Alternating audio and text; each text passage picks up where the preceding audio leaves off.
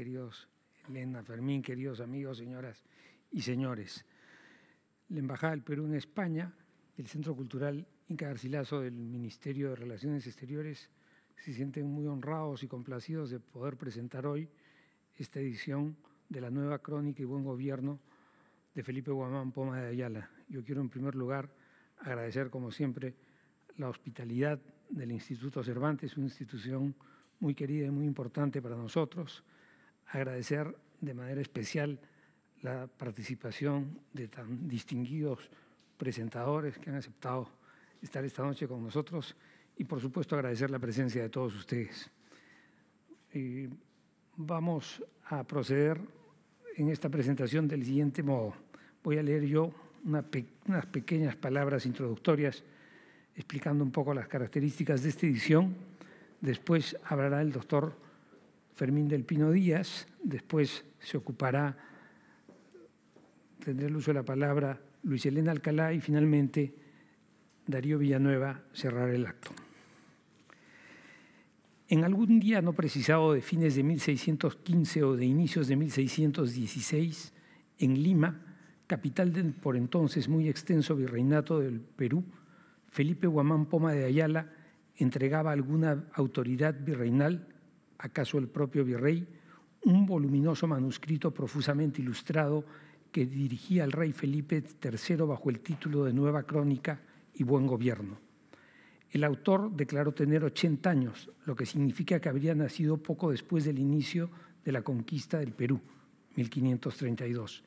Según Guamán Poma, sus ancestros eran de los mayores señores de estos reinos y su padre fue de los primeros que recibió a los cristianos en Cajamarca.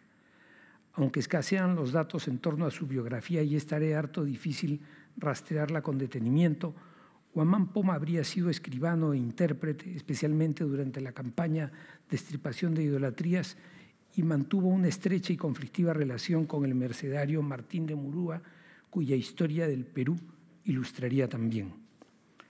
Al entregar su obra en Lima, donde al parecer imaginó que podía encontrar al propio monarca español, el autor esperaba verla impresa y difundida pronto.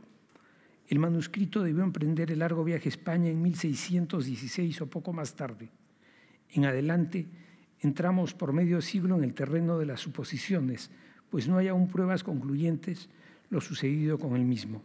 Según el notable historiador peruano Raúl Porras Barrenechea, en algún momento pudo haber llegado a manos del conde duque de Olivares, valido, como sabemos, de Felipe IV, cuya biblioteca fue rematada décadas más tarde un embajador danés podría haberlo adquirido en Madrid a mediados del siglo XVII, dado que desde 1662 ya formaba parte de las colecciones reales danesas.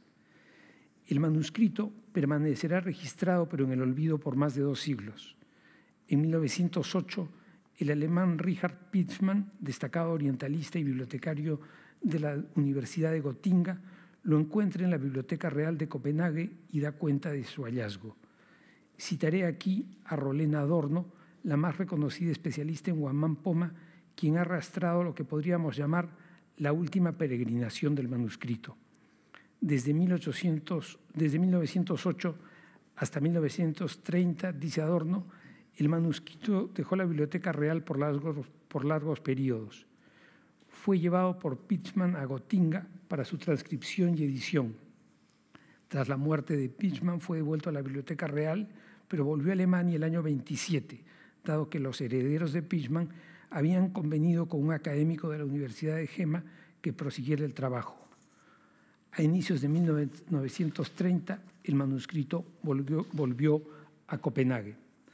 En 1936, el Instituto de Etnología de París, bajo la dirección de Paul Rivet, sacó a la luz la magnífica edición facsimilar de la obra que décadas más tarde conocería transcripciones y reproducciones parciales en La Paz, 1944, Lima, 56, en la Biblioteca Ayacucho, a cargo de Franklin Peace, en 1980, en la edición de Murray y Rolena Adorno, publicada ese año en México y reeditada en España en el 98. Hay además una edición digital hecha por la Biblioteca Real de Copenhague, que como dice Adorno, es una de las maravillas de la era de Internet. El manuscrito original tiene 1.188 páginas, entre las que se intercalan 398 dibujos a página entera. Mide 14 por 20 centímetros, de manera que la edición que ahora presentamos, en lo que a tamaño se refiere, es casi igual.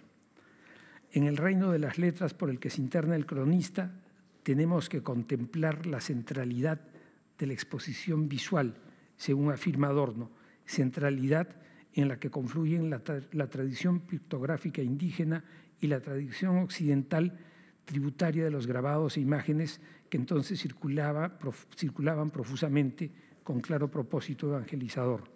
De ello, por cierto, se ocupará Elena Alcalá.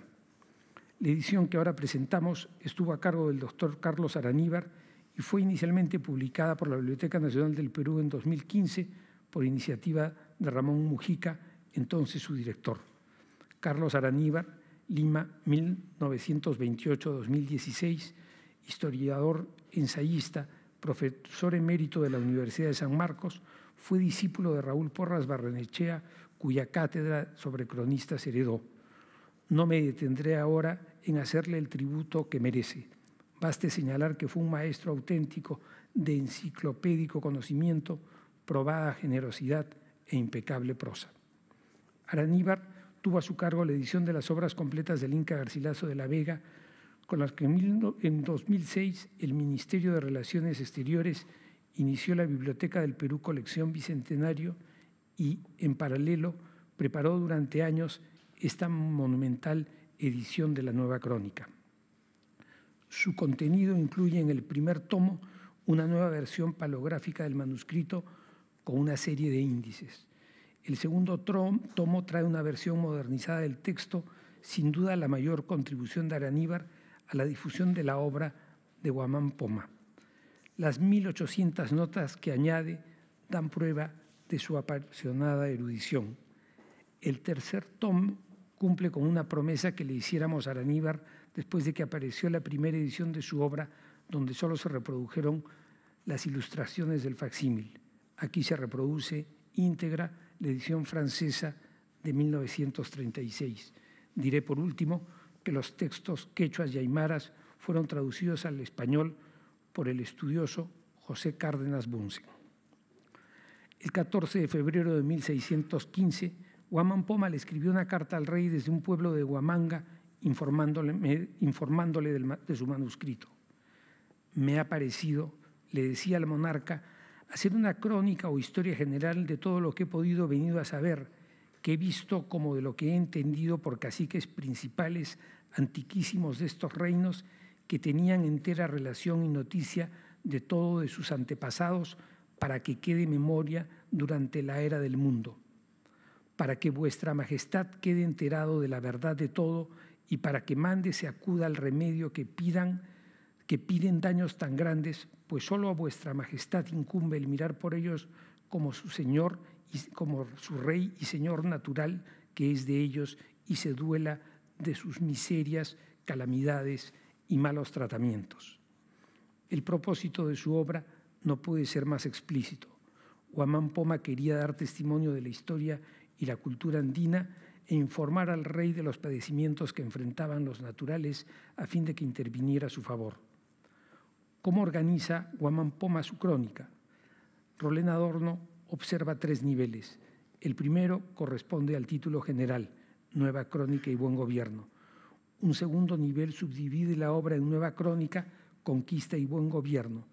Y un tercero propone, en letras latinas, diez segmentos con sus respectivos capítulos que incluyen la creación o primera edad del mundo, la historia eclesiástica del papado, los orígenes o primera edad de los indios que Dios trajo al Nuevo Mundo, la quinta edad o historia de los incas, la conquista del Perú, los virreyes y el buen gobierno, la historia jerárquica de la población andina, la historia jerárquica de los españoles, la inspección de ciudades y villas, la lista de los mesones o tambos en el camino real incaico y los meses y el calendario. Consistente, añade Adorno, con el sistema decimal de organización de la cultura andina, Guamán Poma organizó su obra en su nivel más profundo de acuerdo con el orden de capartito que encontramos en muchas otras ocasiones en las que tuvo que tomar decisiones creativas para su libro. En su versión modernizada, Araníbar divide el libro en 40 temas o capítulos que permiten entender mejor su riqueza y complejidad y la impronta mestiza que también la asigna. Echémosle solo un vistazo a la propuesta de Araníbar. El primer capítulo incluye la introducción y las cartas al rey, el segundo se refiere a la creación del mundo y los papas, el tercero a las edades del mundo prehispánico, el cuarto a los incas, etcétera, etcétera. La división de Araníbar concluye con cuatro capítulos de títulos tan sugestivos como Del mundo vuelve el autor a su casa, Camina el autor, que incluye un extenso diálogo con el corregidor Juan de León, Calendario Inca, meses del año santoral cristiano, y por último, el breve capítulo cuadragésimo titulado Esta crónica es para todo el mundo, que puede considerarse la reflexión final de la obra.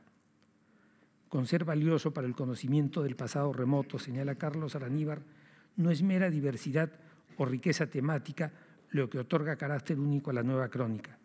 Muchos cronistas esmeraron por conjugar variación y amenidad y algunos, como el mestizo cusqueño Garcilaso, lo consiguieron. Pero hay algo que hace distinto a Guamán Poma, es el haber mirado las cosas desde dentro, con ojos de indio y no desde afuera, con ojos de español. No es un escritor neutral con a la mano una penosa lista de agravios, sino una voz nativa que responde con denuncias concretas y acusaciones descarnadas. Esta crónica es para todo el mundo, dice como hemos visto Guamán Poma en las líneas finales de su libro. Y eso es precisamente lo que quiso hacer Carlos Araníbal con esta edición, ponerla al alcance de un mayor número de lectores para que se comprenda lo imprescindible que resulta a todo aquel que se interese por el pasado histórico y el porvenir del Perú. Muchas gracias.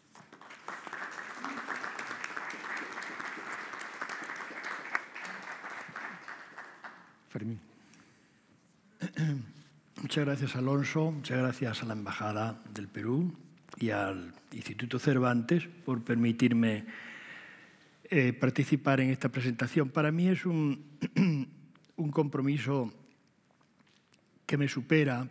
No soy quechuista, eh, tampoco he hecho trabajo de campo en la sierra, lo he hecho en la selva sobre migración. Pero me quería ceñir, dado mi eh, dedicación a editar crónicas de Indias, a los problemas que Araníbar ha tenido que superar, en particular con esta crónica. Espero no, no pisar el terreno de mis colegas eh, por los temas eh, editoriales, pero creo que es necesario justificar los modos de editar en función de la obra que había que editar. He preferido leerle porque si me pongo a hablar no puedo ceñirme a los 15 minutos o 20 minutos que, es conveniente que use. Eh, mi énfasis vendrá por una presentación peronista de Aníbar, al que mis colegas quizás no conozcan tanto, así como de una valoración extraordinaria de Guamán. En definitiva, relacionar la importancia y características de la obra con el modo de editarla por Araníbar. Importancia de la obra. Nos encontramos ante la edición final de una obra de importancia excepcional, tanto en la historia peruana como en la española. Me gustaría ser capaz de explicar al público asistente esta importancia doble, así como el mérito de una edición nueva que aborda el problema particular que le afecta a esta obra, que seguramente es causante de su edición tardía y su mensaje poco divulgado. Me refiero al uso de un léxico plurilingüe, castellano, quechua y otras lenguas peruanas, que él menciona, aunque no usa léxico de esas otras lenguas del Perú, en particular el aymara, a lo largo de más de un millar de páginas, adornado de 400 dibujos en blanco y negro, que es un tercio del total, como ya uh, Alonso lo ha avanzado.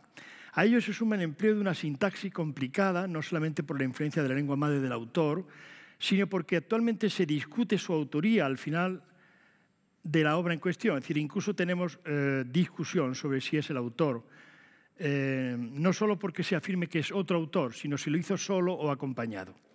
Para unos, el propio Guamán, que así de ese, Poma de Ayala, que así de ese modo mestizo se nombraba a sí mismo el autor, aunque era hijo de madre y padre indianos, escribió el libro por sí mismo para unos, a pesar de haber pertenecido anteriormente al equipo de doctrineros del canónigo de Cusco Cristóbal de Albornoz y el mercedario vasco Martín de Murúa, pero para otros formaba parte de esos dos equipos y luego también de otro que formó él usando escribanos andinos que transformaron su lenguaje un poco más lejos del castellano corriente usado principalmente por el autor. Eh, entenderán a lo largo de mi exposición a qué me refiero. Por otro lado, hay un grupo de investigadores italianos que sostiene tenazmente, acaba de morir este año la líder de ese grupo, Laura Laurenzi Minelli, contra toda la academia andinista que Guaman Poma no era más que el autor oficial de la obra, que en realidad procedía en secreto de manos del jesuita mestizo Blas Valera, autor prestigiado por su conocimiento de latín y de historia antigua andina. Da la impresión que estos investigadores notables no conceden a Guamán la capacidad de crear esa obra y deben buscar un jesuita culto para ello. Se parece un poco a la pretensión reciente de un académico francés de atribuir al inteligente Hernán Cortés la verdadera historia de la conquista de la Nueva España, que sabemos procede de un soldado, aunque inteligente, como Bernal Díaz. Valera sería ahora un autor cuya obra se conserva completa, la obra de, eh, no la suya eh, que inspiró al Inca, sino la que presentamos, aunque con otro nombre, y no sería ya el mero inspirador de informes antiguos usados por el Inca. Ya se ve que el mestizo peruano de ascendencia real que se vino a España a casa de sus parientes paternos andaluces a escribir sobre sus parientes maternos, con ayuda de una cultura humanista refinada, compite con un indio peruano, aunque de nombre a sí mismo mestizo, que escribió su obra en el Perú, pero la envió al rey de España, Felipe III. Ambos son considerados hoy los príncipes de la literatura peruana y ambos han sido editados por la colección Bicentenario del Ministerio de Relaciones Exteriores del Perú. Hace dos años tuve ocasión de participar en la presentación de la del Inca. Y en ambos, con el Inca y con Guamán, ha empleado el mismo editor, don Carlos Araníbar, el mismo método modernizador, con la pretensión de acercar una obra excelente del pasado al lector actual de cualquier nivel que se trate. Si bien el Inca es considerado por todos y también por Aníbal el príncipe de los ingenios peruanos, como Cervantes lo es en el Parnaso español, la obra de Guamán, aquí presentada, la única que se le conoce, es considerada por, su editor actual, Aníbal, el libro más importante que se ha escrito en el país. Declaración que fue repetida en las presentaciones y que fue objeto de comentario en la prensa. Eh, eh, glosando eh, la muerte del autor que tuvo lugar cuatro meses después de esta edición de la Biblioteca eh, del Perú. Esta edición es póstuma, es posterior a la muerte del autor. Nueva crónica y buen gobierno, su valor y defecto particular, entre comillas defecto. ¿Cuál es la razón por la que nuestro editor puede considerarla esta obra así de importante y cuál es el mérito particular? Como es muy sabido, esta obra se terminó de redactar hace 1615, que es la última fecha que consta en el mismo libro, de este año disponemos además de una carta personal al rey que ha leído Alonso y no repetiré, eh, descubierta por el investigador Lomban Villena. Otra vez coinciden el Inca y Oamán en las fechas, 1615, porque ambos vienen a dejar de dar señales de vida en 1616 y ambos dejan que su obra se termine publicando póstuma en el caso del Inca, la segunda parte de sus comentarios, Córdoba 1617, imprescindible para entender la primera. Para colmo de coincidencias, esta edición de Araníbar, de la colección Bicentenario, salió en octubre del año pasado, más de un año después de la muerte de su editor. Ambos tres, Inca, Huamán y Araníbar, eran conscientes de estar, como diría Cervantes, en la dedicatoria al conde de Lemos de su obra póstuma Trabajos de Persiles y Segismunda, puesto ya el pie en el estribo, con las ansias de la muerte, gran señor, esta te escribo. Me pregunto si, si, unas obras que se escriben o editan tan al cabo de la vida podemos dejar de concederle una importancia especial. Para este editor es una pena que en el caso de Guamán, una obra trascendente para todos, el propio autor dijo al final de su obra, como también se ha citado por eh, Alonso, esta crónica es para todo el mundo y cristiandad, es una pena que ocurra que la gente del pueblo no la, no la conoce o no la entienda, tal vez debido a la forma en que está escrita, literariamente contradictoria. A ello, a ello atribuye que no se le haya dedicado, dice Araníbar, ni una calle ni una plaza en todo el país y que sus ediciones más aceptadas no pasen de ser ediciones para un público selecto, al contrario del Inca Arcilaso, cuyas obras no paran de salir editadas y traducidas en varias lenguas, como el Quijote, y en forma antológica al alcance de cualquiera. Hay hasta estadios de fútbol con el nombre Garcilaso. Sin embargo, con el caso de Guamán hubo un premio y el locutor llamó al escenario a recibir el premio al propio eh, Guamán Poma de Ayala, lo cual demuestra su falta de divulgación popular. Llevaba razón Araníbar. La impropiedad del caso para Araníbar es que otra vez, en contraste con el Inca, se trata de una contradicción, porque cito de la página 13 de su presentación, hay algo, frase también citada por Alonso, que hace distinto a Guamán el haber mirado las cosas desde adentro con ojos de indios. Esa voz nativa, claro está, tiene que usar frecuentemente el quechua o el aymara, tanto en palabras y frases que reclaman ser traducidas, y casi todas las ediciones de esta obra llevan un autor traductor al lado del editor. Caso de, caso de, de Pis, eh, eh, no, pero en el caso de Rolena, sí. Curiosamente, esta parte traducida es la más débil de esta edición y de hecho ha sido criticada por Rodolfo Cerón Palomino, que por cierto está en Madrid, creo, o estaba anteayer, entre otras cosas porque no están traducidas todas las frases del quechua aymara, no, no entraré si están bien o mal traducidas. Yo he visto que hay disidencias con la edición de, de Rolena. Y ahora entramos en un terreno polémico porque el autor, Oman Poma, aprovecha la experiencia acumulada durante 80 años, dice él, Además de la experiencia personal y del uso del quechua intermitente, la obra está escrita principalmente en castellano y tiene interesantes razonamientos sobre el encuentro intercultural hispano-peruano y, sobre todo, una considerable erudición en literatura histórico-europea, bíblica, de cronistas españoles, incluso de predicadores y de retóricos de Fray Luis de Granada. Así que el punto de vista nativo que quiere destacar nuestro editor se combina también con una conciencia viva de cristiano que reclama a los españoles que cumplan con sus deberes cristianos. El autor está en completo desacuerdo con la complicidad que los caciques andinos han establecido con los invasores cristianos, ambos dibujados como fieras peligrosas, como leones, tigres, zorras, serpientes que oprimen al pobre indio trabajador postula que los cargos aristocráticos andinos existentes en la sociedad prehispánica, tanto la incaica como la anterior, que él destaca insistentemente, no deben ser alterados, ni se deben nombrar nuevas autoridades locales porque tienden a colaborar más con el conquistador en el mutuo enriquecimiento. Incluso, y esto es una nota que destacaba el profesor Porras en su estudio detenido del año 48, Guamán Poma detesta el mestizaje que se está produciendo en la sociedad andina colonial, dedicando palabras gruesas a las jóvenes nativas que no rechazan las insinuaciones españolas. No hay nada aparentemente que lo ponga más al Inca Garcilaso, que se pavoneaba de ser mestizo contra el desprestigio social que veía producirse hacia estos hijos naturales. Más de una vez el Inca corrige el término empleado por los cronistas de bastardos por el de naturales para referirse a Pizarro y o para, o para otros hijos fuera del matrimonio. En realidad, este hecho inevitable de la mezcla racial por la escasez de mujeres en la primera generación de españoles llegados a las Indias estaba muy vigilado y hasta perseguido por las autoridades metropolitanas y por algunas órdenes como los jesuitas que querían defender la República de los Indios y la República de los Españoles como separadas. En realidad, Poma, en su atribución de la autonomía indiana es bastante hispano, está de acuerdo con las leyes de Indias. De, de hecho, es un admirador del virrey Toledo, no cabe más contradicción. Los virreyes aprobaban la concentración de poblados aislados nativos en reducciones mayores, pero insistían en alejarlo de los poblados españoles para no perder una necesaria población tributaria, obvio. Los mestizos no pagaban impuestos como tampoco los esclavos negros. Incluso el matrimonio de españoles e incas de noble estirpe estaba en principio prohibido y la corona patrocinaba el casamiento de españoles con españolas, preferentemente para evitar la formación de una nobleza autónoma, obvio. Por eso se le prohibió al capitán Garcilaso casarse con una pareja real nativa con la que ya llevaba conviviendo nueve años, no parece un amor efímero, madre del Inca y de una hermana suya, para evitar que surgiera un líder equivalente al revés de Gonzalo Pizarro, de quien Sebastián Garcilaso había sido colaborador estrecho. El propio Guamán tenía un hermano mestizo, el padre Martín Ayala, de quien él recibió seguramente instrucción y a quien nombra respetuoso varias veces.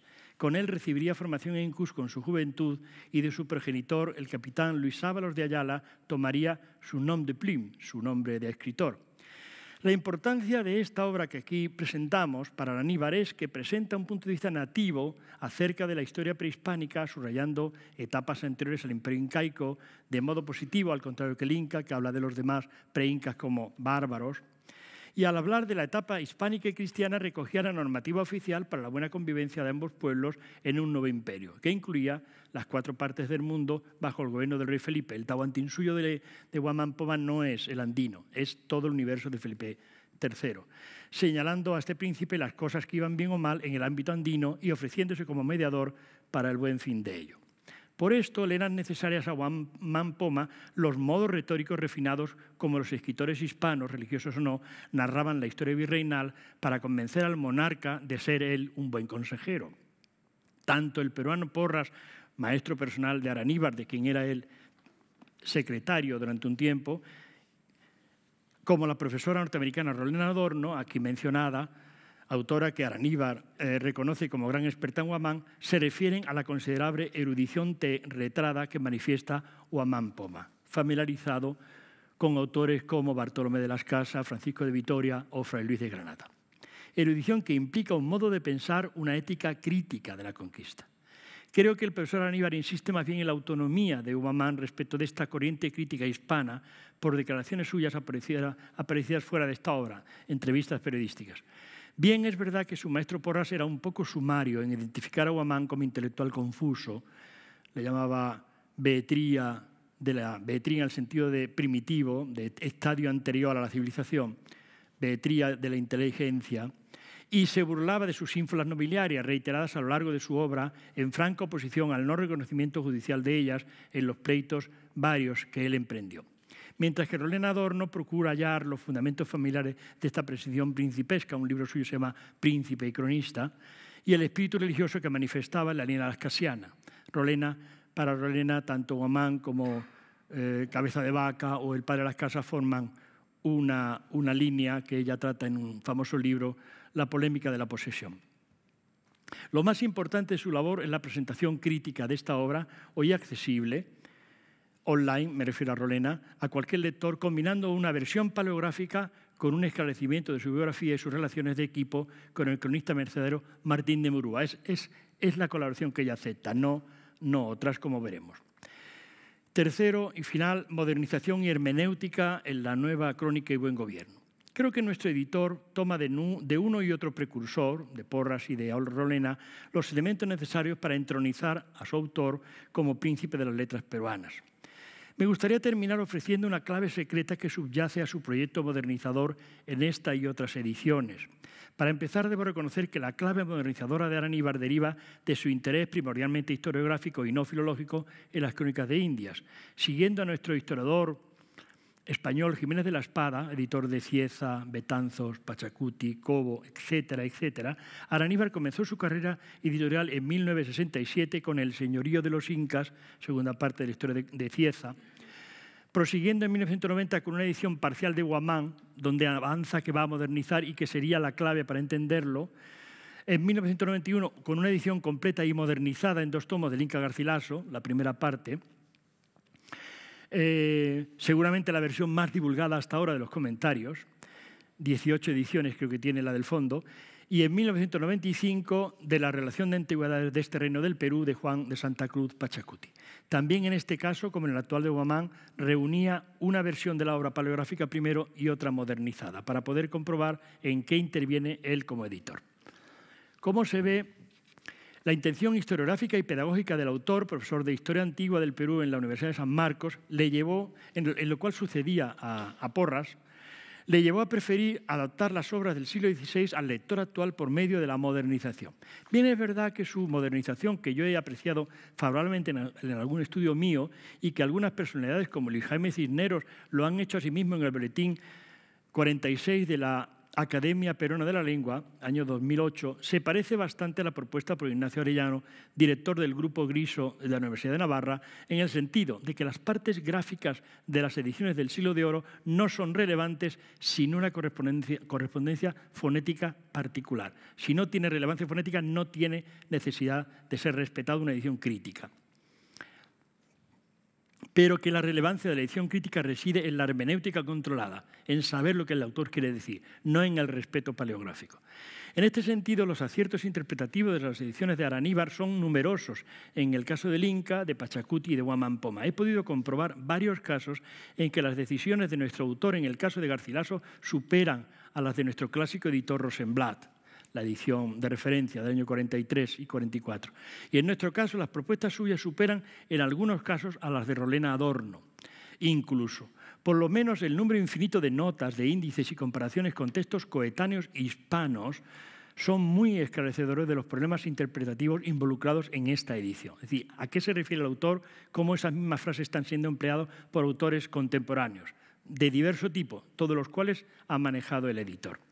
Pero hay, y termino, una superioridad de la modernización de Guamán Poma en manos de Araníbar, de la que carece la profesora Adorno, y es la hipótesis sostenida por el traductor de Quechua, José Cárdenas Bunsen en su tesis de licenciatura de la Universidad Católica de Lima, titulada La redacción de la nueva crónica de buen gobierno, año 98, cuyo resultado abreviado se publicó en Notas filológicas para la génesis de la nueva crónica de buen gobierno en la edición de Francesca Cantú del grupo italiano que intenta asociar la obra de Guamán con Bras Valera. Es el primer artículo.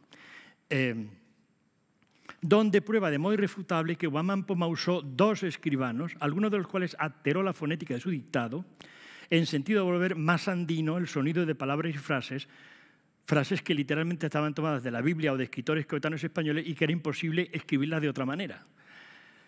Esta tesis no es mencionada en la edición de Araníbar porque fue empleada por los profesores italianos antes aludidos, partidarios de atribuir a Juan Valera, a Blas Valera, la autoría de la nueva crónica, bajo el argumento grosero, creo yo, intelectualmente hablando, de que Guamán no, no había escrito materialmente él su obra, porque usó escribanos.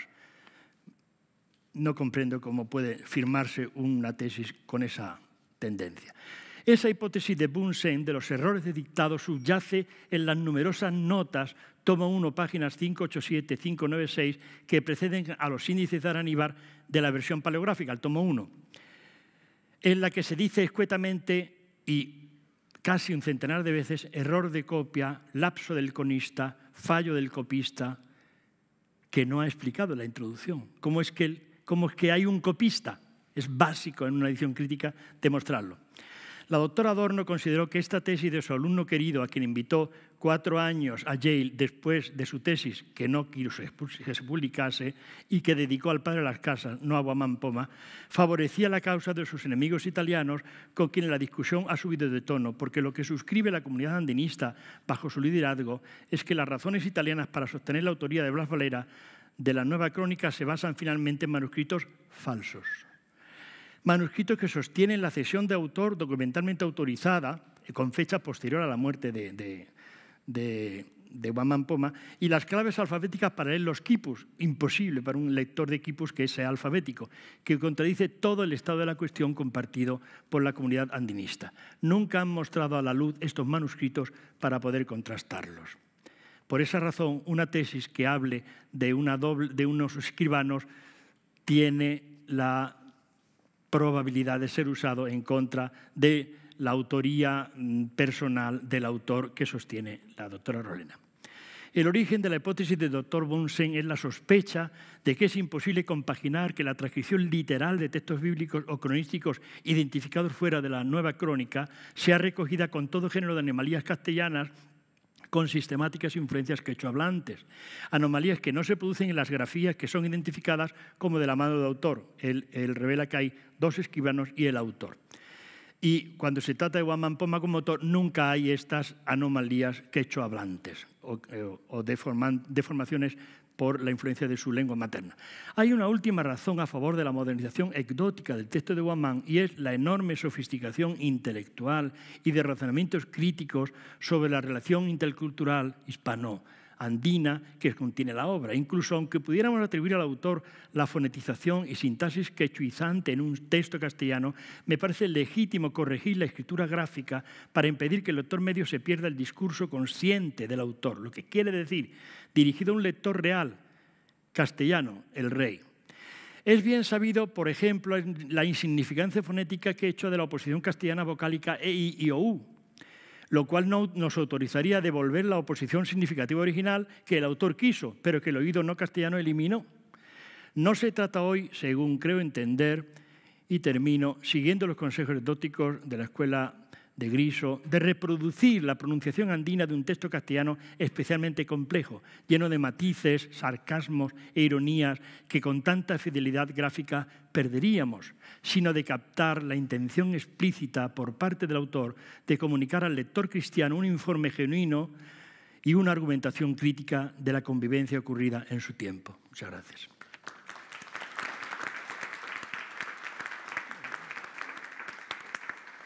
Elena, por favor. Buenas tardes, eh, es un placer estar aquí. Muchas gracias por la invitación, eh, también a la Embajada, al Instituto Cervantes. Eh, yo estoy aquí realmente en calidad de, mi disciplina, que es la historia del arte. Entonces estoy aquí un poco para hablar de los dibujos y sobre todo para quizás felicitar, recalcar la importancia de este tercer volumen, porque, como se ha dicho ¿no? también en la presentación, desde el 36, ¿no? desde 1936, 1936 no se había eh, vuelto a eh, ofrecer un facsímil de las dos partes que eh, componen Wamampoma, que son 400 o casi 400 dibujos, además de mil páginas de texto. Entonces, em, esto es eh, algo que hay que felicitar, es muy importante, es el volumen al final que nos invita, yo creo, de los tres, a especialistas y no especialistas, a mirar ¿no? y a ver y a pensar de otra manera eh, sobre, sobre las imágenes. Y, y es importante, yo creo, recalcar esto porque Em, la verdad es que mi impresión, en general, desde, desde la historia del arte, es que Juan Poma tiene una bibliografía enorme, hay muchísimas personas que se dedican a estudiarlo, hay estudios desde todos los puntos de vista imaginables, es decir, sobre todo antropología, etnografía, eh, historia colonial, pero también pues, esa historia de la medicina, de las plantas, de las ciudades, ¿no? semiótica, etc.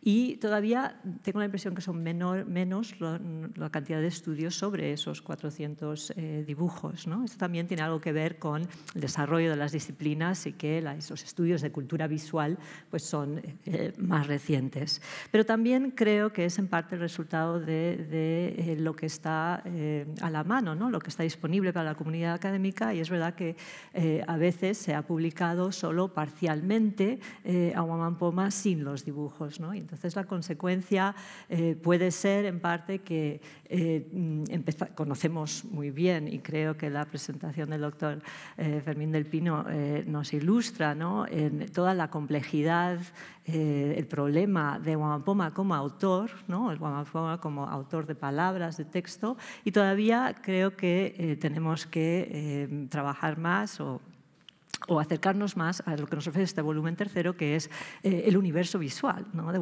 Poma y esa otra parte eh, de su eh, autoría. Entonces, realmente es cierto que la nueva crónica es un texto único, ¿no? lo es por muchas razones, pero lo es también porque tiene tantos dibujos. Y esto es una anomalía dentro de la edad moderna no es nada normal que una crónica eh, histórica escrita en el siglo XVI, principios del XVII, tenga más que unos cuantas estampas cuando llega a la imprenta o unos cuantos dibujos por el coste que eso significaba. ¿no? Y desde luego, pues una de las muchas preguntas que si lo tuviéramos aquí sentado, ¿no? a mí me gustaría hacer eh, a, Felipe Juan Poma de Ayala es qué tenía en mente, ¿no? qué tenía en mente y por qué eh, y cómo pensaba poder llevar esto a la imprenta con sus 400 eh, casi 400 ilustraciones. Eh, ese es un problema eh, práctico y no lo podemos abordar, pero lo que sí queda claro, lo que sí nos indica ese aparato visual es que para él las imágenes importan mucho, los dibujos, y yo diría que él las está usando como parte de su discurso y como parte de su argumento. Y Juan Poma es alguien que piensa en imágenes y es perfectamente o muy eh, consciente del papel persuasivo de la imagen. Así que perdonad porque use un cliché, pero de alguna manera creo que estaría de acuerdo en que una imagen vale más que mil palabras a, veces. Em, entonces, eh, con esta nueva eh, edición, con estos tres volúmenes, realmente creo que tenemos un poema más completo a nuestro alcance y ese universo visual. Por supuesto, es verdad que igual que hay que saber ¿no? o tener unas claves, unos índices para saber leer eh, a Guamampoma, ¿no? con todas las dificultades lingüísticas que, acarrea, también es verdad que hay que saber mirar eh, estos eh, dibujos Eh, y a menudo se ha dicho que son eh, muy naif, que son muy sencillos, que son poco originales, porque algunas composiciones se repiten eh, y, que evidentemente no es un artista. Yo creo que tenemos que partir de la base que evidentemente no es un artista, ni era esa su preocupación, ni era esa su formación. pero también tenemos que tener cuidado y ser conscientes que la simplicidad de la forma no quiere decir que haya un pensamiento simple ahí, ni mucho menos, eh, son, están muy pensadas estos dibujos. Y esto es lo fascinante para eh, los que nos dedicamos al mundo visual ¿no? de los virreinatos lo que hace a Wampoma eh, tan atractivo. Entonces, eh, creo que hay que verlo como uno de los grandes artistas gráficos, ¿no? con una especie de denuncia eh, social ahí a través de la imagen, como pues, incluso vemos hoy en, los periódicos, en algunos artistas gráficos. Em, y, simplemente quiero daros eh, un par de ejemplos de lo que quiero decir en cuanto a, cómo es eh, cómo, cómo, de sofisticado es en realidad eh, estos dibujos. Son además de, a partir de, aparte de que sean parezcan simplistas solo con estas líneas negras, ¿no? Las imágenes, eh, yo creo que para él eh, las usa de muchas maneras distintas ¿no? y desde luego eh, es un experto en estrategias de persuasión visual. ¿no? Sería alguien para invitar a un máster sobre comunicación y publicidad, ni una, una campaña de publicidad. ¿no? Pero dejando a los anacronismos de lado, realmente ha aprendido de los mejores, ha aprendido de los misioneros ¿no? en cuanto a cómo usar las imágenes. Y una de sus estrategias es la de la repetición y la de al acumular composiciones que efectivamente son parecidas. Y esto que a veces se ha visto como una falta de originalidad, yo creo que realmente es algo deliberado, absolutamente deliberado porque entiende que eh, esto incide en el argumento. ¿no? Y quizás el ejemplo más llamativo de, eh, de, este recurso en los dibujos de Juan Poma son la cantidad, el elevado número de dibujos que hay sobre castigos corporales, ¿no? es decir, la cantidad de escenas en la que eh, o un sacerdote, o unos frailes, o unos alcaldes, pero, pero también puede ser un capataz en una mina ¿no? negro, o puede ser incluso el maestro de coro indígena que está azotando a los niños, ¿no? a sus pupilos, o mujeres que están pegando a otras mujeres.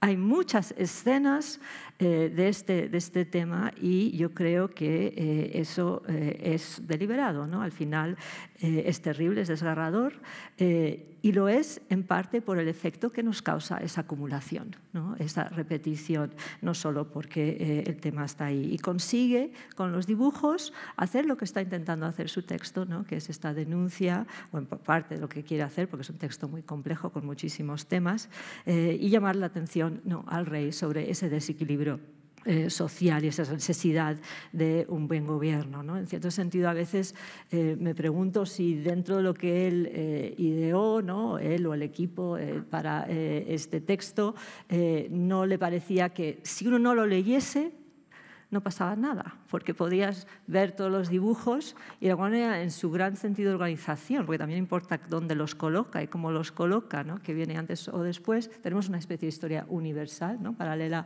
eh, a, la, a, la de su, eh, a lo de su texto y funciona. ¿no? Al final cala el mensaje solo eh, con los dibujos, aunque evidentemente hace falta mucho más. Hace falta lo demás porque hay otros momentos en que sí que el dibujo que utiliza es único. Y en esos casos, eh, a menudo eh, son dibujos muy agudos, muy inteligentes, eh, compositivamente, en que la que está jugando con la relación entre texto e imagen. y es muy hábil a la hora de apropiarse de una cultura visual que ha aprendido, que ha asimilado ¿no? para sus propios fines. Y también me gustaría daros un ejemplo y no alargarme mucho. ¿no? Creo que es el, el tercer o cuarto dibujo aquí eh, es, y es importante que sea el tercero o el cuarto, es eh, una escena que nos recuerda eh, a cualquiera que lo vea recuerda a la Anunciación de la Virgen. A cualquiera que lo vea, esto parece una anunciación. Es una escena en la que está hablando justamente de eh, el ermitaño, su maestro, Martín de Ayala, ¿no? que es mestizo, que la admiraba mucho, y aparece una habitación donde hay una ventana abierta, parece entrar el Espíritu Santo, una paloma, igual que en una anunciación, Martín de Ayala está arrodillado, él sería un poco el equivalente eh, de la Virgen, ahí eh, decorosamente, con un rosario en la mano, recibiendo un mensaje ¿no? del que tendría que ser San Gabriel, pero su San Gabriel es el Inca. ¿no? Es uno de los emperadores del Inca, eh, detrás su colla también con un rosario en las manos. Es decir, que ha cogido la idea de la anunciación de la Virgen y la ha transformado, la ha andianizado eh, y, eh, sobre todo, lo que es curioso es ¿Por qué está esto aquí cuando el texto no habla de esta escena? El texto, este es uno de sus primeros prólogos, en que además eh, en este orden es, me parece muy interesante que la primera escena es la coronación de la Virgen, la segunda es la creación de Adán y Eva y esta es la tercera. Y después ya seguirá otra vez el arca de Noé, pero ha metido este capítulo aquí de una supuesta anunciación, pero es un poco la llegada del cristianismo eh, a los Andes, esa idea de que eh, la población estaban predispuestas a recibir eh, el cristianismo y el mensajero no es un misionero, es el Inca mismo. ¿no? Eh, y no es un español. ¿no? Entonces, esos son esos tipos de, em, cosas, manipulaciones que hace muy hábilmente eh, Poma con las imágenes y, que a veces no dicen cosas que no dicen el texto. ¿no? Eh, cosas que no se atreve a decir en el texto, a veces eh, más, son más fuertes en, en sus dibujos o a veces simplemente son discursos paralelos, no son simplemente ilustraciones eh, de lo que dice eh, el texto. Eh, así que, bueno, yo os, invito a los, creo que aquí hay un público muy conocedor de Poma, pero desde luego vale la pena volver a sus dibujos de esta óptica de la cultura visual y también desde esta óptica de trabajar un poco con la idea de sus fuentes. ¿no? Evidentemente no es una persona aislada, tiene un bagaje visual. Y lo interesante de recuperar e indagar un poco cómo ha usado estas, estos modelos, eh, no es de restarle la originalidad en absoluto, ¿no? es lo contrario. Y además creo que es importante porque... Eh, queda poco patrimonio peruano del virreinato del Perú de estas décadas, ¿no? del siglo XVI, principios del siglo XVII, quedan muy pocas pinturas, quedan poquísimas esculturas, no queda. Entonces, eh, Poma, indirectamente, a través de estos dibujos, lo que nos ofrece es una vendana hacia un universo visual y el proceso de asimilación y transformación también eh, de fuentes eh, que, hemos perdido, en cierto sentido. Así que nada más, me sumo a las felicitaciones a la Biblioteca Nacional y eh, al Ministerio de Relaciones Exteriores del Perú, porque parece maravilloso que ha habido este compromiso en sacar tres volúmenes de un mismo manuscrito. Esto no es algo que hoy en día se hace mucho, no, no lo hacen las editoriales y creo que eh, es eh, importantísimo. Y desde luego también recordar, yo nunca lo conocí, eh, al doctor Carlos eh, Araníbar eh, ¿no? y que haya llevado esto a cabo y se haya podido terminar. Sobre todo, me parece que en la introducción que escribe, y lo has mencionado también, su, su pasión y su interés porque esto llegara a más personas ¿no? y, y, que se divulgara y se conociera mejor. Yo creo que estoy convencida que es en parte ese aparato gráfico, esos dibujos, lo que pueden tener mucho con lograr esa meta suya ¿no? y que más gente lo conozcas, no solo por lo fascinante que son los dibujos, sino porque realmente vivimos en un mundo muy visual. Eh, y yo creo que lo visual pues realmente nos puede conectar con el pasado de una manera muy potente y Juan Poma eso lo sabía. Muchas gracias. Gracias.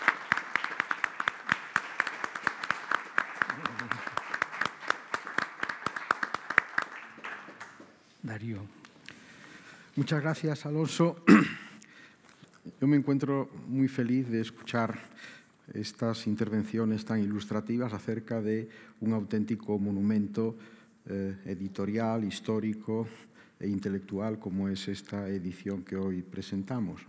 Y también eh, feliz por haber sido convocado. Me siento feliz a dos carrillos porque, por una parte, eh, en las satisfacciones mayores que en fin, se me pueden atribuir eh, por mis trabajos de los últimos tiempos, están la de dirigir la Asociación de Academias de la Lengua Española, es decir, esa red maravillosa que ninguna otra lengua tiene de 23 academias que en distintos países, incluidos los Estados Unidos, defienden eh, la unidad de un idioma que todos compartimos y que necesita, eso sí, contar con referencias claras de cómo esa unidad se fue consolidando, se fue gestando a través de una historia enormemente conflictiva, eso no cabe ninguna duda, la edición de eh, Felipe Guamán Poma de Ayala contribuye a, asentar la idea que todos debemos compartir eh, de que la historia del mundo hispánico fue una historia eh, de violencia, de tensión, de sumisión, pero también fue una historia de la que ha quedado, en fin, esa herencia de una comunidad de 575 millones de hispanohablantes que nos podemos entender perfectamente los unos con los otros a partir de una lengua común, eh, lo que no significa uniformidad, sino eh, diversidad. Esa sería, por lo tanto, la primera de mis satisfacciones, eh, la satisfacción como representante de la Asociación de Academias de la Lengua Española por haber sido convocado a esta presentación. Pero la segunda eh, me toca mucho más de cerca porque viene de antes eh, de que yo tuviera esa responsabilidad y que seguirá cuando termine de tenerla, que es la satisfacción de un filólogo. Un filólogo ante esta obra tiene que quitarse el sombrero. Es una obra, repito el adjetivo, verdaderamente monumental.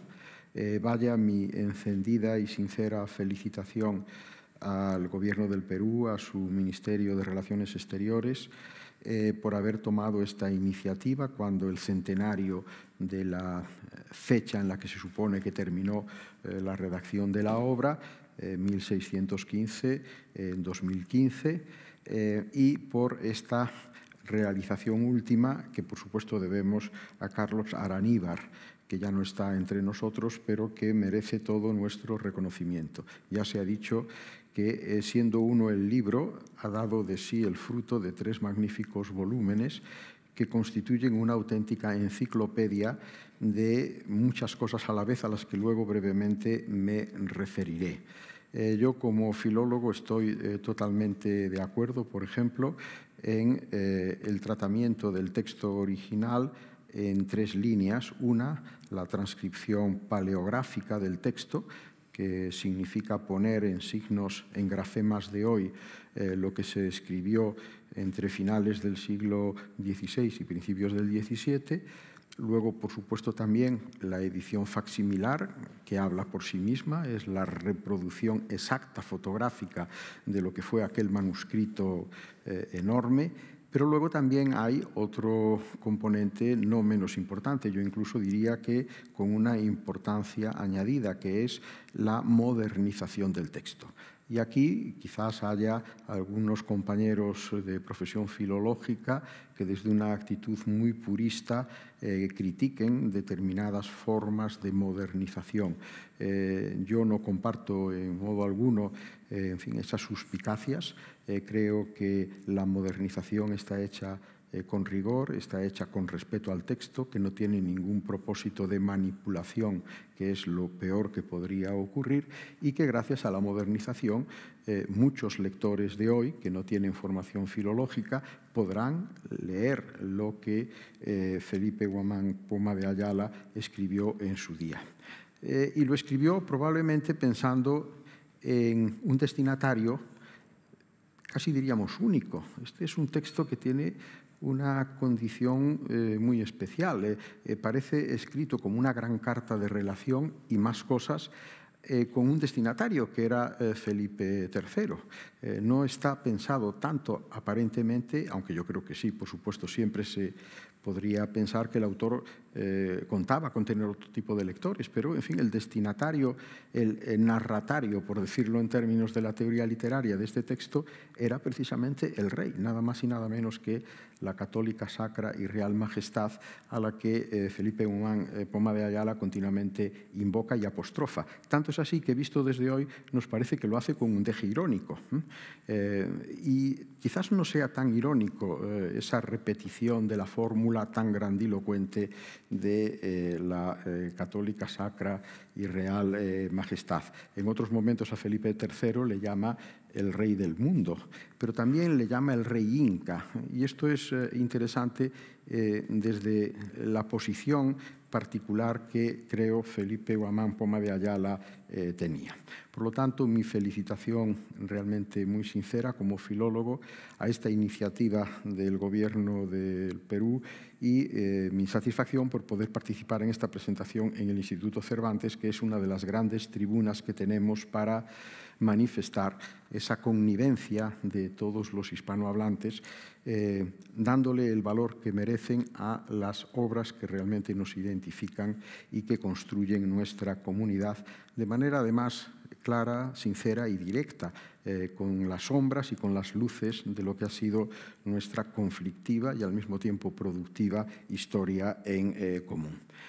Es una obra verdaderamente enciclopédica porque, aparte de la tarea de la transcripción paleográfica, de la modernización, del cuidado de la edición facsimilar, eh, Carlos Araníbar nos añade unos índices extraordinariamente útiles.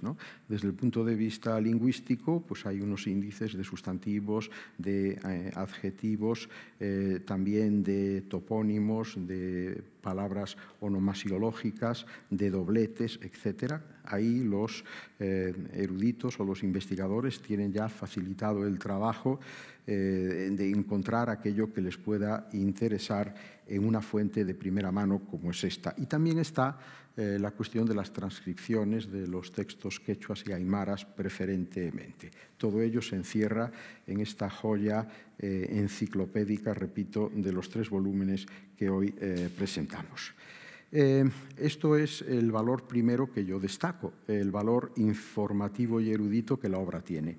Efectivamente, Felipe Momán Lopoma de Ayala eh, incorpora en su manuscrito muchísimas informaciones acerca de las ciudades, de los lugares, de la geografía eh, de Perú, eh, de las prácticas y costumbres de sus habitantes y todo ello enriquecido, claro está, por ese aparato gráfico que ha sido tan precisa y magníficamente glosado aquí. Pero sobre esto yo quisiera mencionar otros aportes transversales de la obra por ejemplo, el lingüístico. Evidentemente, eh, mm,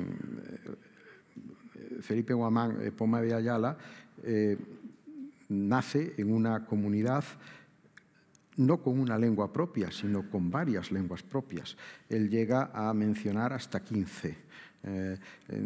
evidentemente el quechua, el aymara y el eh, suyo son las predominantes pero, eh, en fin, eh, el espectro lingüístico abarca mucho más. Y luego está, por supuesto, la lengua castellana. Y el resultado es eh, el indicio de algo prodigioso y al mismo tiempo característico de lenguas como la nuestra, en el sentido más enriquecedor que le podamos dar a la palabra. efectivamente, cuando un idioma entra en contacto con otros y ese contacto produce una osmosis creativa, eh, el idioma mm, que recibe eh, mejora y se potencia de manera extraordinaria en términos expresivos y también en términos literarios y artísticos. Eh, por ejemplo, esto es lo que ocurre si me permiten un caso concreto, es lo que le ocurre al inglés eh, con los escritores irlandeses. ¿eh? Eh, Irlanda es un país no muy grande, que tiene cinco premios Nobel de literatura, tiene una lengua que es el gaélico o irlandés, pero estos autores a los que me refiero escriben en inglés. Y escriben un inglés, piensen por ejemplo en un Joyce, que es un extremo de lo que estoy diciendo, absolutamente irreverente, un inglés que está eh, manipulado de manera muy creativa, de manera, en términos en que un inglés nativo de la entraña lingüística de Inglaterra nunca sería capaz de realizar porque eh, perteneciendo a esa comunidad que está en el centro del idioma, se tiene un sentido muy sacral de lo que el idioma es. En cambio, si se pertenece a una periferia y se parte de una eh, situación diglósica, eh, se manipula la lengua metropolitana para enriquecerla. Esta es la historia del castellano. El castellano tuvo esa inmensa suerte.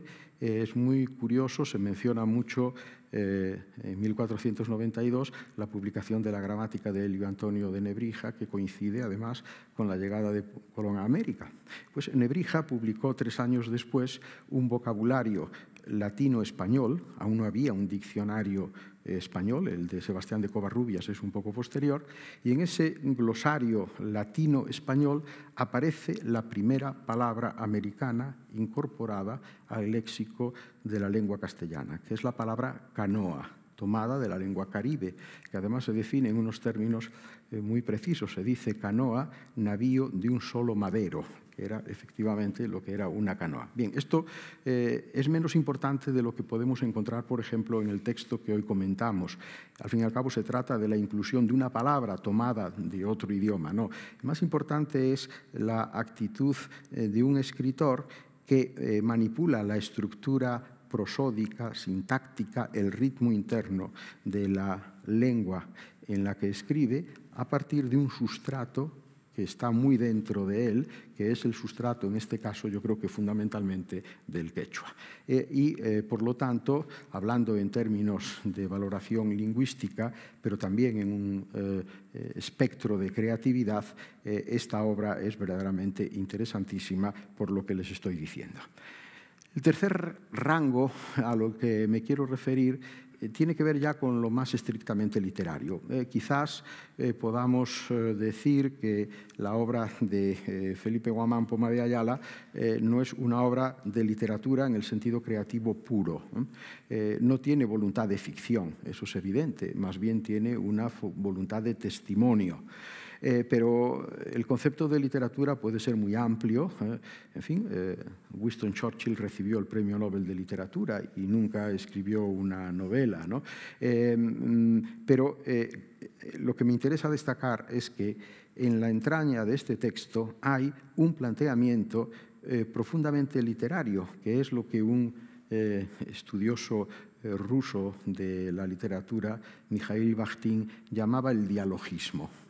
Este es un texto dialógico, es un texto en el que el autor dialoga con el rey Felipe III. Pero lo curioso del caso es que no solo él le dice cosas al rey, sino que después hay momentos en que pone en boca del rey preguntas que el rey le hace a él. Y eso es de una habilidad dialéctica extraordinaria, porque eh, cuando el rey le pregunta a Felipe Guamán Puma de Ayala algo, evidentemente es algo que Felipe eh, Guamán Poma de Ayala hubiese querido que el rey le preguntara.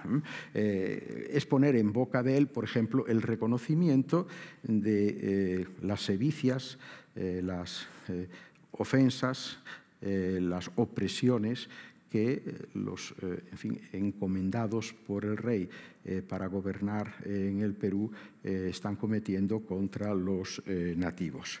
Y la, la cuarta, en fin, eh, línea de, comentario que me sugiere, que me ha sugerido eh, la lectura completa de estos tres tomos, eh, tiene que ver obviamente con los aspectos de contenido. ¿no? Ya he hablado de un contenido documental, informativo, etcétera, pero luego hay otro quizás más interesante para nosotros hoy en día. Es el pensamiento de una persona que mm, por eso el libro eh, lleva en un momento el título de Buen Gobierno, eh, la pregunta que se hace acerca de lo que está ocurriendo eh, en su patria, en su país, en el Perú, con la llegada de los cristianos, con la llegada de los castellanos. ahí hay evidentemente una denuncia, una denuncia que coincide con lo que eh, estaba ocurriendo en aquel mismo momento, por ejemplo, con los textos de Fray Bartolomé de las Casas, pero no solo con él. Eh, mm, si me lo permiten, yo traería a colación un texto que se acaba de reeditar en una colección que yo dirijo, bueno, que realmente son dos, que es eh, de Álvar Núñez Cabeza de Vaca, Los naufragios y los comentarios. es rigurosamente coetáneo con Huamán, pero quizás eh, con una pequeña diferencia cronológica. Eh, eh, Álvaro Núñez Cabeza de Vaca nace antes y solo en un tramo compartido de vida de uno y otro, se puede decir que son rigurosamente coetáneos. Pero estamos hablando, en todo caso, de dos textos que están listos a mediados del siglo XVI y que luego se reedita. En los naufragios, los naufragios de Álvaro Núñez Cabeza de Vaca eh, son verdaderamente impresionantes. Él formó parte de una expedición eh, comandada por alguien eh, que en la manera en que llevó la expedición hace honor a su apellido, que estoy hablando de don Pánfilo de Narváez, que llegó a las costas de Florida con varios galeones y 300 españoles y diez años después quedaron tres, uno de ellos precisamente Álvaro Núñez Cabeza de Vaca, después de haber eh, deambulado por eh, eh, Florida y llegando incluso a la costa californiana y acabando en Nueva Galicia, en México. Y allí es muy curioso porque en contra de la imagen del conquistador orgulloso, prepotente, triunfador, Álvaro Núñez Cabeza de Vaca, que era un hidalgo castellano que tenía, en fin, esa prosapia y ese orgullo de los cristianos viejos, cuenta todas las miserias y sevicias de que fue objeto como un español perdido en aquellas vastedades, que fue sodomizado, que fue esclavizado, eh, que anduvo desnudo y él dice que como le ocurría a las serpientes, cambiaba de piel dos veces al año y que consigue salvar el pellejo o uno de esos pellejos eh, que se le van sustituyendo, llegando diez años después de la expedición allá. Pero lo curioso del caso, y eso voy porque es más interesante, es que, y esto a nosotros nos tiene que asombrar, este hombre después de lo que pasó vuelve a España y sigue con el intento de regresar a América. Es cierto que había detrás de ello un propósito económico. Él mismo utiliza una expresión que a mí me ha gustado mucho. Él habla del metal, blanco y amarillo decir, eh, la plata y el oro. Y con esto consigue el nombramiento de adelantado y gobernador del de, eh, Río de la Plata. Entonces se vuelve otra vez en sede en Asunción, en Paraguay, y eh, baja hasta eh, eh, el Río de la Plata y, e intenta poner orden en lo que allí había. Mm, y menciona algo que también Guamán relata con mucha precisión, que son las sevicias sexuales, la fornicación obligada de los castellanos con las nativas, eso también a eh, Álvaro Núñez Cabeza de Vaca eh, le parece algo totalmente inaceptable e intenta corregirlos. El resultado es que hay un motín contra él, sus propios teóricos súbditos castellanos lo apresan, lo encarcelan y lo mandan en un galeón a España, en donde, por cierto, hay un pleito del que sale perdedor, pierde toda su fortuna y acaba verdaderamente hundido y humillado por esta historia. Eh, me refiero a esta cuestión de la fornicación que eh, en el texto de eh, Guamán Poma de Ayala se menciona como una de las agresiones de los eh, castellanos, de los cristianos a la población. Hay también un tratamiento bastante detallado de las condiciones nefandas de las minas, en donde la mortandad de los indios es extraordinaria y mm, hay una preocupación de tipo demográfico. Él viene a decir, eh, si perdemos a los indios, perdemos el reino. Es decir, que eh, está la eh, mortandad que se está produciendo que nos podemos quedar sin la población que sustenta la existencia de un reino que él, eso sí, parece que no pone en cuestión que le corresponda gobernar a esa católica, sacra y real majestad de Felipe III. Y aquí hay un componente interesantísimo de la obra que es eh, un componente de una cierta filiación utópica, eh, muy en la línea de algunos de los textos clásicos del humanismo europeo. Efectivamente, eh, Felipe Guamán Poma de Ayala presenta una posibilidad de gobierno como una utopía, pero una utopía razonable que se podría llegar a producir y a realizar. para él, el buen gobierno sería el mantenimiento de las estructuras sociales y de gobierno eh, nativas y eh, junto a eso eh, mm, aplicar los avances, digamos, tecnológicos que los españoles llevaban, bueno, entre ellos está la propia escritura. Evidentemente, ni el quecha ni el aumaru hay Mara tenían escritura eh, fonética. Bueno, estaba la cuestión de los quipus tan interesantes, pero no cabe duda que esa tecnología de la escritura alfabética fue un avance extraordinario y muchas otras cosas más. Y en un tercer nivel está también la cuestión eh, religiosa, es decir, él se manifiesta como un cristiano convencido eh, y dentro de esa utopía que él eh, diseña está también la asunción del eh, cristianismo por parte de los peruanos, de los nativos, con lo que esto también significa la adopción de una determinada cultura que mm, venía de suyo con esto.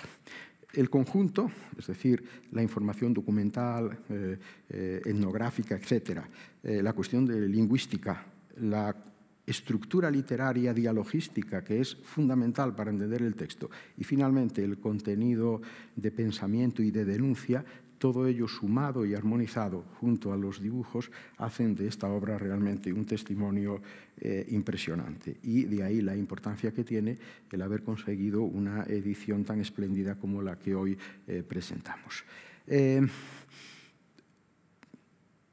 lo último que voy a decir, tómenlo a beneficio de inventario.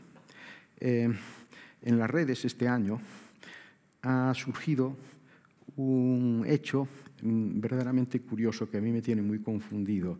Yo no sé si tomármelo en serio o tomármelo en broma. Y es que un español, no diré su nombre, eh, ha lanzado a la red y ha tenido un extraordinario éxito una demanda para que se derruya el acueducto de Segovia, eh, sobre eh, la idea de que es un monumento a la opresión de los romanos sobre los pueblos iberos.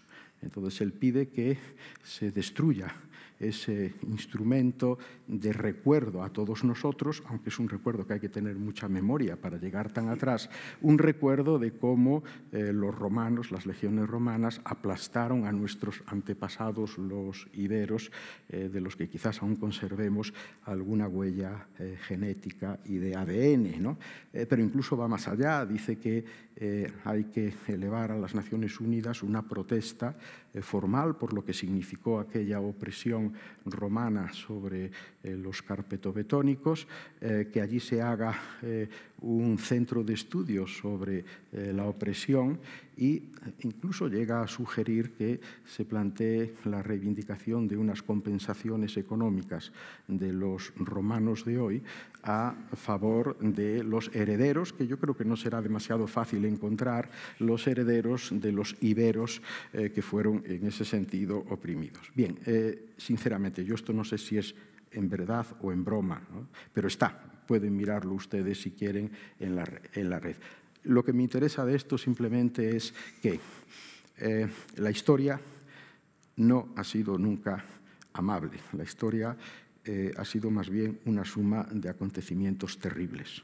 Eh, y el buenismo de pensar en que, como dice el refrán, se pueden pescar truchas a bragas enjutas, eso es una quimera. Eh, la historia ha sido durísima, sangrienta, terrible.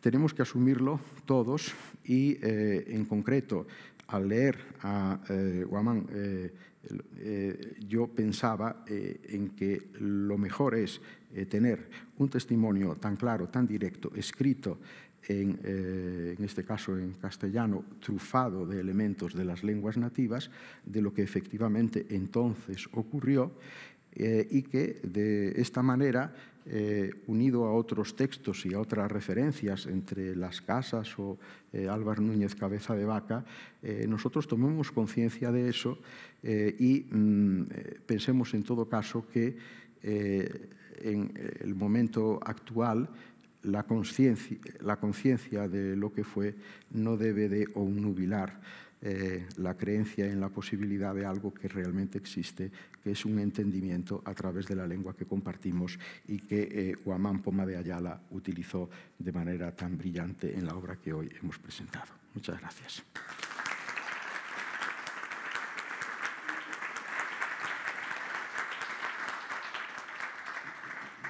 En nombre de la Embajada del Perú solamente quiero reiterarle nuestro agradecimiento al Instituto Cervantes y a nuestros distinguidos panelistas por su brillante intervención y quiero entregarle al director del Instituto Cervantes aquí presente la edición de Guamán.